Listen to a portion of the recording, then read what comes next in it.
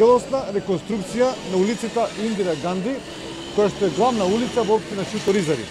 Незината реконструкција ќе започне од булеварот Словенечка, па се до улицата Гарси, Гарсија Лорка, значи по целата незина должина, во должина од 2,5 километри.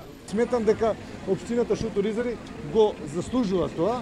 Тоа е една од општините која што, која што има помал стандард и општина која што има многу помали приходи.